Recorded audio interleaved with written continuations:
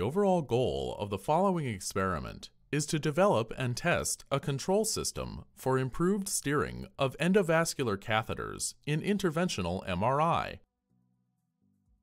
This is achieved by fabricating microcatheters with tiny electromagnets on their tips.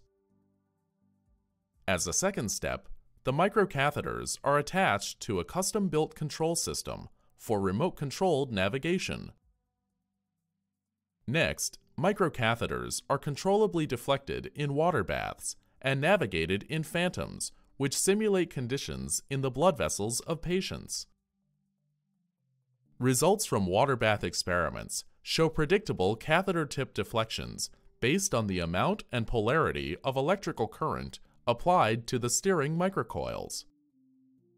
Successful navigation in vessel phantoms demonstrates catheter steering ability.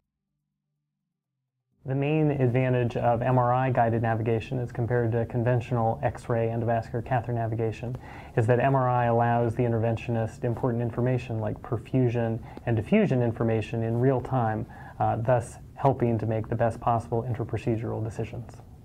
This method can help answer key questions in the interventional MRI field, such as if the ability to control the catheter tip remotely can improve the efficacy of current interventional MRI procedures. Among the aims of the technology is to further develop MRI as a therapeutic modality. Potential applications include the endovascular treatment of stroke, tumor, and cardiac arrhythmia. Generally, individuals new to this method will struggle because it's a very unique approach to interventional guidance.